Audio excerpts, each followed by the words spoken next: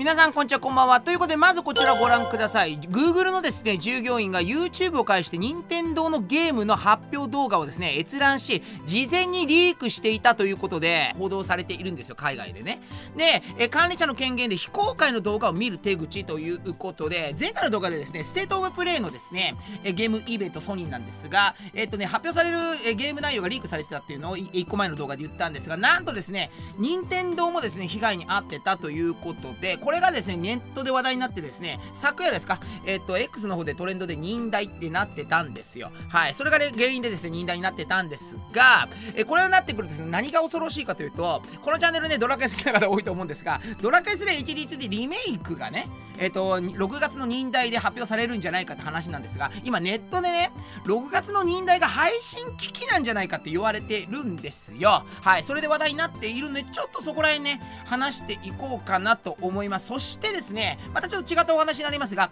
オクトラ3が来るかということでですね、ちょっとね、オクトバストラベラシリーズに少し動きがあったということで、ネットで話題になっているので、そちらもね、ちょっとね、えー、話していきたいなと思います。それでは早速やっていきたいなと思います。ということでですね、これね、結構ややこしいんですよ。で、記事の内容を読んでると、このですね、任天堂動画をリークされたのが、7年ぐらい前なんですって。なんだけれども、それが今回分かったということで、じゃあ7年前に、えっ、ー、と、任天堂が知ってたのかどうかっていうのも分からないんですよ。で、これがちゃんと解決したのか、こんなことがありましたよっていうのを任天堂も知ってて、まあ、Google とのやり取りで解決したのかとか、そういうことも分からないんですよ。なので、今回これもね、リークされてるんですよ。リークした情報をですね、リーク、また今回もリークされたというようなが、リーク合戦になってんだけど、で、これでもしかして任天堂が知ったって可能性もあるということで、これ、そこら辺がちょっとわからないのでややこしいんですが、まあ、僕が思うに先に言いますけども、うーん、まあ、じゃあやり方を工夫して、うーん、中止っていうことはないのかなと思ってます。まあ、ただね、ゼロではないので、ネットで心配されてる方ももちろんいるのは仕方ないなと思っております。ということで、ちょっとね、気になる記事持って、えー、読んでいきましょうかということで、こちらね、えー、Google のですね、従業員が YouTube 開して、任天堂の非公開の動画を見てたという手口なんですが、ちょっとこちら見ていきましょう。まずはですね、え今から約7年前ですね、任天堂のヨッシークラフトワールドが、リザー映像がですね、えー、発表のですね、前日にですね、これね、レ、レディットっていうんですよね。これ何かなと思って調べたら、レディット上でリークされたっていうのが、海外の掲示板です。はい。えー、日本で言うと2ちゃんとかね、5ちゃんとかありますが、海外の掲示板でですね、その情報が公開されたということなんですね。これはですね、Google の契約社員が任天堂の非公開の動画をですね、管理者のアカウントで閲覧し、漏洩させたことが原因だと海外のメディアが伝えているということです。これじゃですね、Google の内部データベースのコピーを入手したと報告していて、そのデータにはですね、2023年からですね、2028年までの6年間におけるですね、個人情報、機密情報取扱い、えー、事故のですね、報告が数千件分含まれているということで、これを見る限りちょっと恐ろしかったんですけど、今普通にアカウント作るだけだったら電話番号だけですか？はい。どうなんですかちょっとわからないんですが、まあ、電話番号間違いなくいると思うんですよ。でですね、YouTube に動画投稿したりとか、いろんな紐付けしなきゃいけなくなってくるとですね、もちろん、例えば銀行口座とか、ね、でもっと個人的なものがいろんなことを登録しなきゃいけないんですよ。そうなってくるとですねこの、えーと、管理者アカウントを使ってですねもう見放題だったということで恐ろしくないですか？ただねこれ2020 3年から20え18年までって書いてあるのでこの6年間って書いてるのでもしかしたら2018年からもしかしたら Google このね YouTube もですねもしかしたらちょっとこう厳しくなったのかななんて思うんですがそう思ってたんですがセットオブプレイね、えー、昨日動画で言いましたがそちらの方でもですねまあ情報ダダの漏れだったということでちょっと恐ろしいですよね本当にね。そしてですね、このね、Google のデータベースのコピーしたということですね、こうミーディアさんがですね、まだいろいろ言っているんですが、え報告の中にはですね、Google の従業員が、え任天堂の YouTube アカウントの非公開動画にアクセスし、任天堂のね、発表予定よりも先に情報を流出させた事例も含まれていたとのことということで、もうこれ書いてあるので、もう確定なのかなということで、事件としては報告あったんだから、これをね、先ほど言った通り、任天堂がまず知ってんのかどうかって話だよね。ね。まあ、大しをはできると思うんですよ。はい。なんかこう一緒でですねあの皆さんと一緒にですね生放送で見るみたいなねあの投稿時間決めてやるやつやってるじゃないですか。カウントダウンが出てね。であれをやめるとかまあ方法はあると思うんですが実際まだ本当にねえ任天堂がいつ知ったのかっていう話なんですよね。そしてですね画像あるんですよ。はい。その PC の画像あったんですよ。ちょっと怖いので出しません。でですねこちら読んでいきましょうか。えー、こちらレディットにですね投じられたスレッドではですねこれは5チャンネルってことですね。はい。海外の掲示板ですね。YouTube のページを表示させた PC で、えー、ディスプレイの写真が投稿されていた、えー、URL がですねこれねアドミン YouTube.com って書いてあるんですこのアドミンというこれ調べてみたらですね管理者とかまあそういうこのもうことを言うらしいんですよ。から始まっていたため管理者権限を持つアカウントで、えーと、閲覧した際の写真と見られるということで。だバカなんだと思うんですけど。それでバレたということで。だこれをどこまでどのメーカーとかがどこまで知ってるのかってことなんだよね。でですねこれ一応ちょっとささっていろいろ書いてますけども。これですねえっ、ー、とじゃあ何のためにやったのかって話なんですがですね、えー、発表後にですね公開予定の動画という点もですね友人から伝えられていたそうで。つまり見せびらかしたいという個人的な、えー欲を満たすための漏洩だったということで報告で終わってるというんですがまあね任天堂としてはたまったもんじゃないんですよね。どうなっていくのかということで。これがですね一応7年前の話なんですが7年前に起こったっていう事例なのでこれを本当に今どこのメーカーが知ってんのかっていうね思うじゃないですか。それがちょっとわからないんで今回ねちょっと闇が深いのかなと僕は思っているんですがそれではちょっとネットの反応を見ていきましょう。どっから流出したんだと思ってたが Google 内部は予想外で草ということで僕も笑ってしまいました、え、メールも絶対覗かれてるよな。企業情報とかも盗みまくりということで。そうなんですよね。俺ね多分最近思うんですけどね。まあ Apple もそうなんですけどね。iPhone って指紋認証できて顔認証できて声も取られてるわけでしょ。ね。で個人情報も全部入ってるじゃないですか。よくよく考えたらね警察より情報に行ってんじゃねえのかって。やっぱすごいですね。まあそういう時代だから仕方ないんですけどね。ちょっと怖いなって今回本当に思いましたね、えやりた放題だこのこと。泥棒や。インサイダー。今回のね問題はですねここなんですよ。インサイダーじゃねえかってこう言われるわけですよね。だってその権限を持ってですね例えば1週間前とかにですね、まあ、忍耐の URL がもし貼られてたらそれを見てしまったら1週間後にこんなでっかい玉が来るんだといえばね。わこれ絶対株価上がると思って買えばいいだけじゃないですか。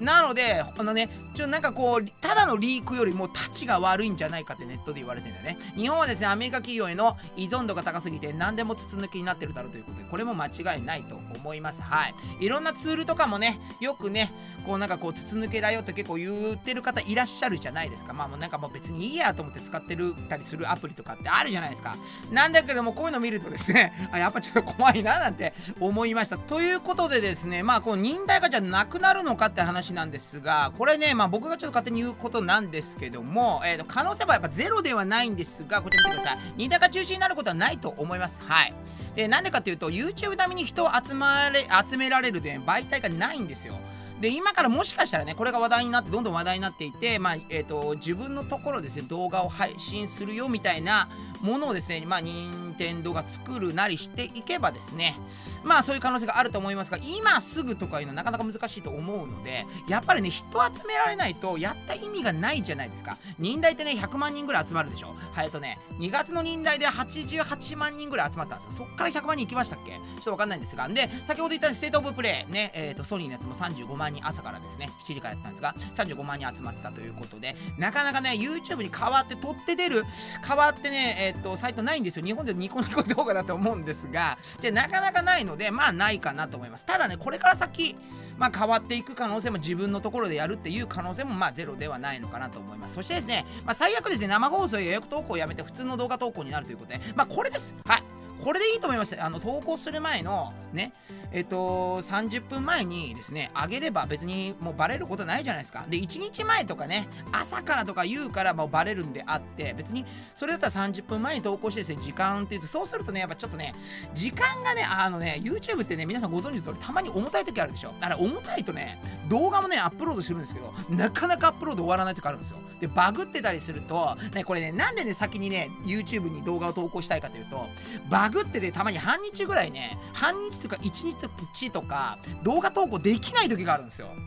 そういうことがあるのでやっぱり企業側はですね怖いのでやっぱりねある程度前日とか1週間前に予約投稿本当はしたいんですがそれをですね逆手に取られてですねもう盗み放題ということでまあ悪質なんですがまあこれから先そうなっていくのかななんて思っております。ということで僕はですねなくなることはないと思います。ただね可能性はゼロではないのでちょっと見送りますというか違う方法だ忍耐自体がなくなることはないんだよ。ただそれをお披露目する場が変わっていくって可能性はあると思います。ということでですねえー、ちょっと6月です忍耐、えー、ドラケスレイ HD2 リメイク続行来るかなということでですね。ちょっと忍耐中止だとちょっとね僕もねうえって思ったんですよ。昨日ね忍耐で X、えー、トレーナー入ったんで思ってたんですがまあよくよく考えるとまあ中止になることはないのかなと思うのでぜひね安心してください。次なんですが海外でですね記事が出ていたのでちょっと気になったのでご紹介していきましょうということで、えプレステでですねオクトパストラベラー1が遊べるかということで台湾でですねレーティング審査がですね追加していたことがですね、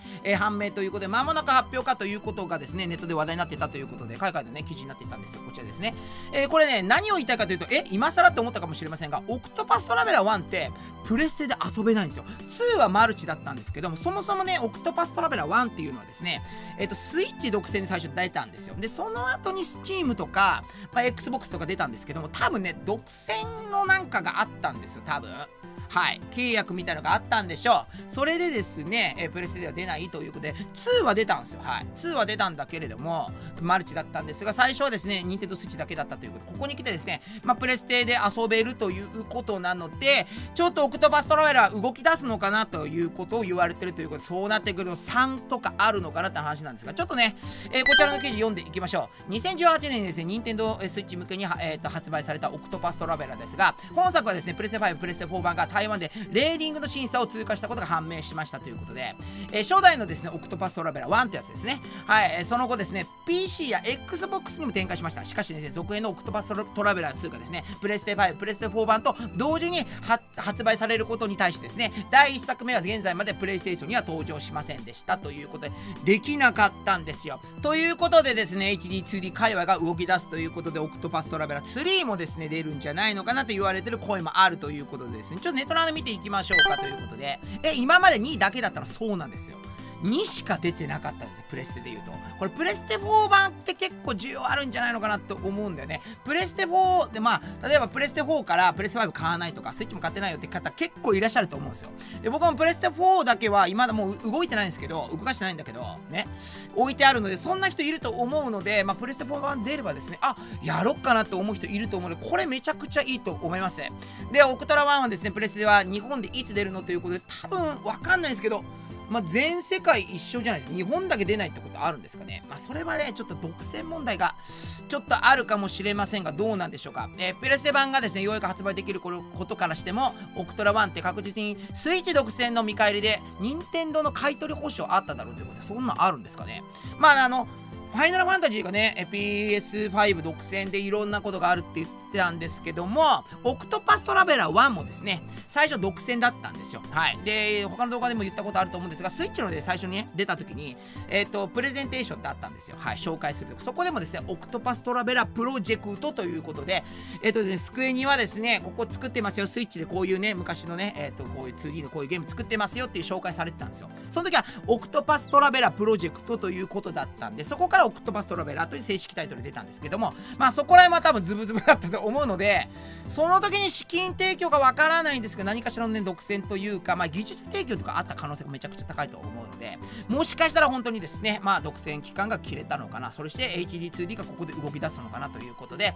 オクトパストラベラー3の期待値も上がっていくんではないのかなということなんですが、皆さんどう思いますか？ということで、今回なんですが、ちょっとですね、いろんなお話、あ、2個か、えー、しましたが、最初のやつちょっとエグかったでしょ。はい。まさかの Google だったのかというね。こうなんか社員さんの、ゲーム会社の社員さんの身内が、にちょっとポロって言ったらが漏れたな、みたいな、そういうイメージだったんですよ。まさか大元の管理者軽減使ってたっていうね、もう防ぎようねえじゃねえか言うてとんでもない事件かなということでですね。まあ、忍耐どうなっていくのか。皆さんどう思いますか？忍耐。はい。僕はまあまあまあ、プラットフォーム変わったりとか、他のところで配信する可能性があっても終わることはないともちろん思いますただ YouTube では、今後どうどうなっていくのか分かりません。まあ対応もしていくのかななんて思います。ということで今回この辺で終わりたいなと思います。よろしければチャンネル登録高評価などもよろしくお願いします。それでは次の動画でお会いしましょう。バイバイ